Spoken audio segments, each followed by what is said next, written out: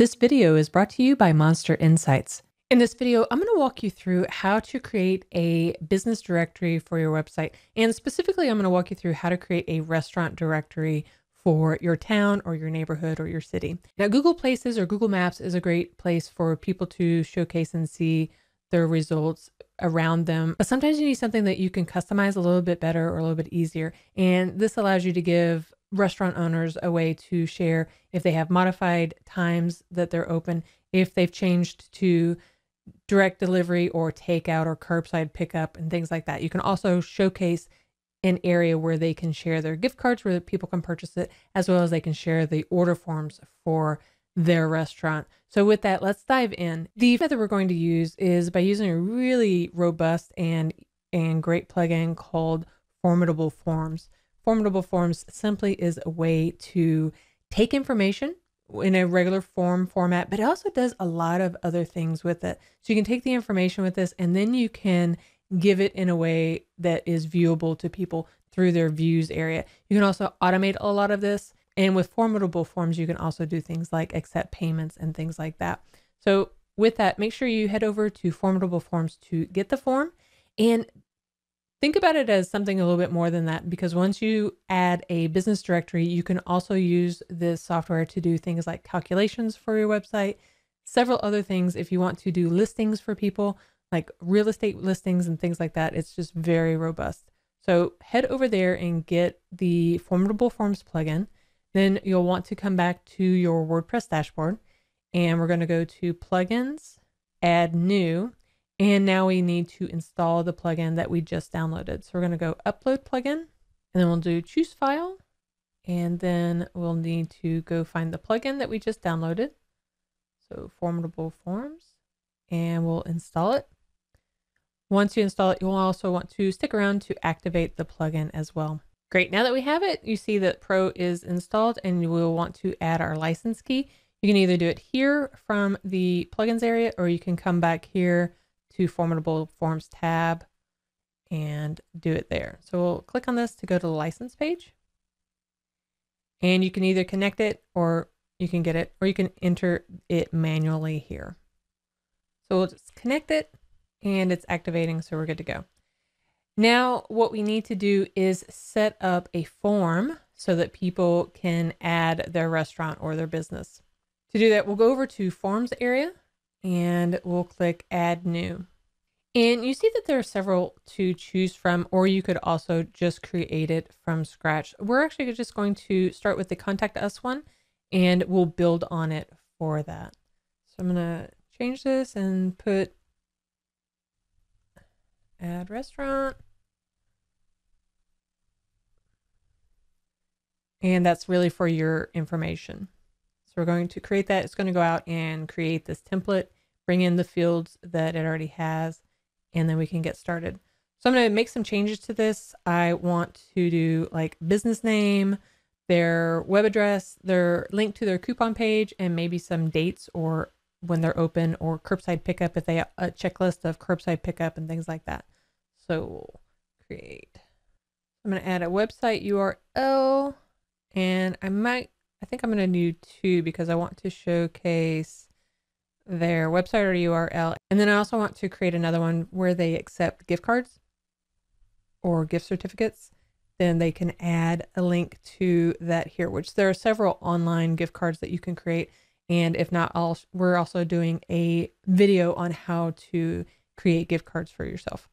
Now, another thing is if some people take gift cards over the phone where they're going to mail you out their gift card, there are some restaurants who aren't quite up to the online version, but they're happy to send out a gift card through the mail or accept a gift card from the phone. So we can do that. Okay. So that looks pretty good. You might want to make some changes to it, but that's a pretty good setup that we're going to start with. So what we can do is update that. Okay, now that it's updated, we can put it on our website. So what we want to do is going to head over to pages because I want to give it a page where they can add and fill out this information.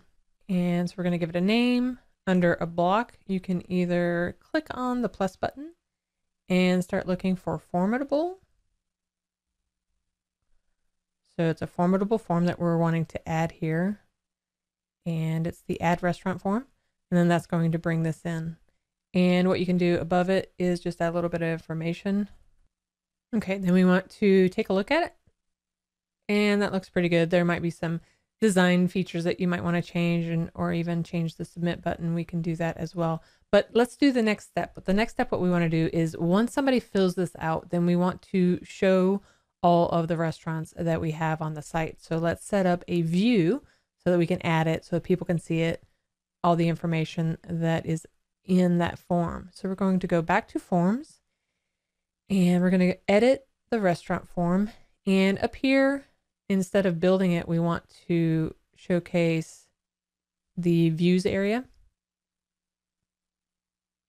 And there are currently no views, so we need to create a view. And basically all the view means is once somebody fills out the information, the entries that are filled out, we are able to showcase all of the entries and all the data in a reliable way or in a view that looks really good.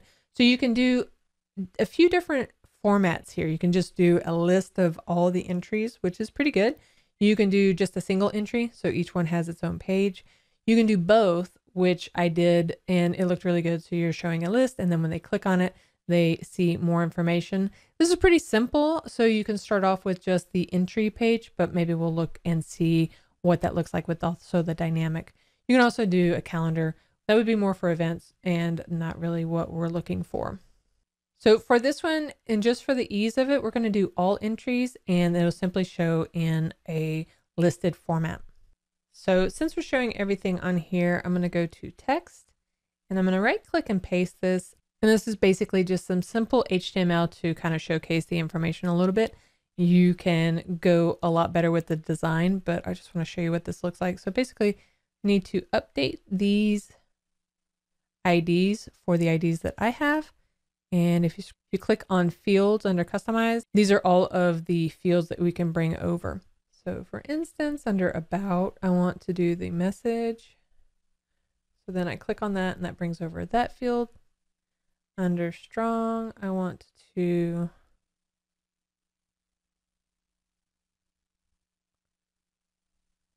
I want this one to be the website URL. So we're going to do that. And here, I want this to be the name. So it's the name is in hyperlink. So I'm going to do that here.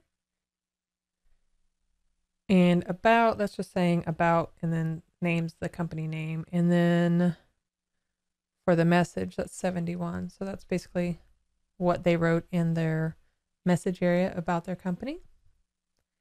And their next URL is 73. And what you can do with this one is this is a short code that I'll type in 73 for this field. And we say we want to make it clickable. So we want it to, they for them to be able to click on it and open it up because it's another URL. then down here, I simply created another button and you can do button, you can do button and I'm making this a URL and we want that to be for the gift card URL. So that's 73 and I need to update these labels so I know more. And then the hyperlink will say buy and then the business name or the restaurant name gift card. So I want to change this to the name, which is 67. And that looks pretty good. So what we can do is let's go ahead and publish this. And then I want to create a new page so that you can see all of the listings. So let's do that next. So we're going to go to add new because I want to showcase all the listings. Call it local restaurants. And just like when we added the form, we want to do the same thing. We want to add a view. So you can either click on the plus or you can do a forward slash and do start typing in formidable. And instead of a form this time, we're going to do a view. And we need to choose the view that we just created. And now we'll click publish. Now there are no entries found, so it's not going to showcase. So let's go ahead and add something here. I'm going to go to the form so that we can add a restaurant. And then we'll add the restaurant. Okay, so I like it that they said it's submitted successfully. That's great. And then what we can also do is go to the pages and see the local restaurants. So now we can go here, open it in a new link, and now it's showing that. So you see how it's coming up here. The thing I don't like and that we'll be fixing next is once they is you notice how when they add the restaurant, then we said we added the restaurant and everything, and then it just said, thanks, we'll be in touch. What we want to do is actually redirect them from filling it out to then showcasing all of the local restaurants. So let's do that. So we're going to go back into the form.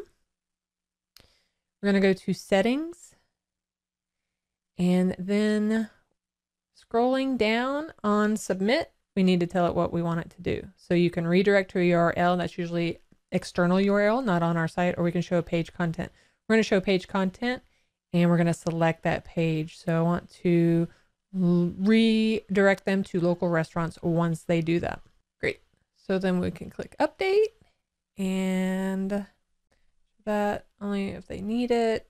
Do they offer curbside pickup, but they don't do delivery? And let's go ahead and add the restaurant. So now when we added it, it redirected us. And so now we can start seeing both of those. And now people can go through here and look at all the items and then pick what's best for them or what they're wanting. So that's really cool. The other thing you might want to do is as these grow, there's a couple of things you may want to do. Maybe you want to just showcase the name and then allow people to click on it and then they get all of the details. So coming back up here into our add restaurant form and we've got the view and we just said, let's do all the listings. So instead what we want to do is we want to do both dynamic and single entry. And that's where some of the power of this comes in. So I'm going to highlight all of this and copy. And I'll come up here and I want to do both dynamic and single listing. And that changes up a little bit of what we have. So I'm going to go to the detail page and the details page is where what we just wrote, all of that, that will be now on the details page. And then on the listings page, it will simply have their name. And that's to kind of keep that front page nice and clean. Now that I moved everything over to the details page, I want to go back to the listings page and under here, I'm going to right click and paste this in. And then I want to make sure I get the name. So it's 67. And what this is doing is it's going to give me an H3 or a subheading with a detail link to that business name. I'm going to update that so you can see what that looks like. Let's go back to view the local businesses. Great. And now you see they're just one by one. And then the detail page, we click on that and then it'll go to the details of just that single page. And that looks a little bit cleaner and a little bit more manageable for you. So now we have two pages. We have the add a restaurant and we have the local restaurants that show all of the restaurants for us. The next thing we want to do is we want to clean up our menu area so that we can showcase those. We can do that by going back to our dashboard. And then from here, you simply want to go down to appearance, menus, so we can make adjustments here. Now, your theme might be a little bit different. Just know that this is the main menu for this theme, and we're just going to clean some things up. I want to keep home. I'll keep blog going to remove shop.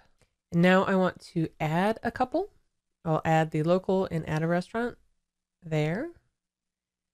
And we'll save the menu. Now we can go and look and now we see local restaurants or add a restaurant. So you can click on that to see the local restaurants here. And then as you're growing this directory, one of the other things you'll want to do is install and use something like Monster Insights. Monster Insights will tell you just how many people are coming to your website. They'll give you reports straight in your dashboard. It's the easiest way to connect with Google Analytics so you see how your website is doing straight from here. To get started, you can head over to monsterinsights.com and make sure you use promo code WPB VIP to get the best discount on Monster Insights. And thanks for watching.